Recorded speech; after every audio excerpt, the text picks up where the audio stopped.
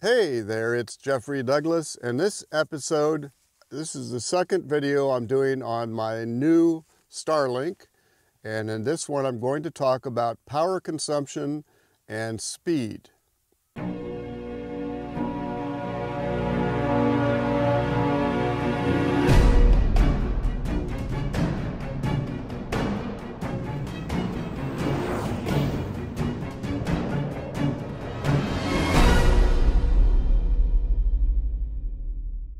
So I uh, got out uh, today in Anza-Borrego. It was really crowded and uh, had to go out to one of my more remote sites, which was nice, so I could test the uh, Starlink, Starlink system.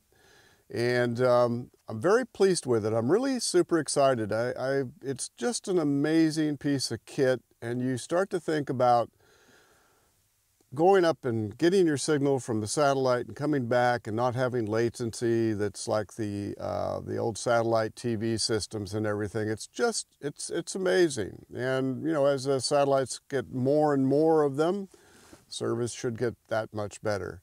So um, what I did today was I did some speed tests, and I'm going to put over the video here a couple of results of those speed tests. And I was very pleased uh, over all very good speed. Latency was not bad.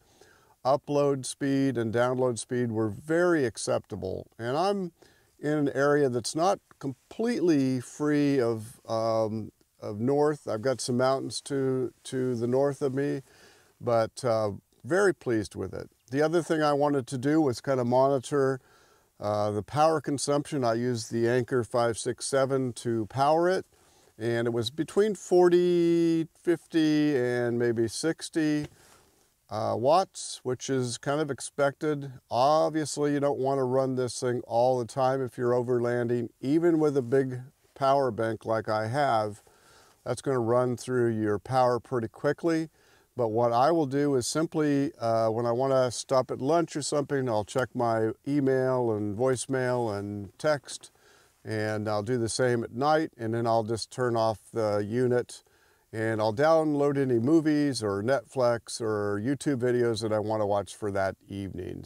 I made a call um, today to my brother and uh, sister-in-law in Idaho and uh, sounded really super clear. They had no idea that I was calling from Starlink.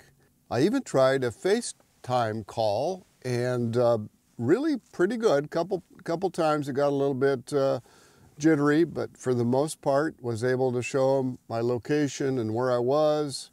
Uh, checked on Kiki to make sure Kiki was okay and stuff like that.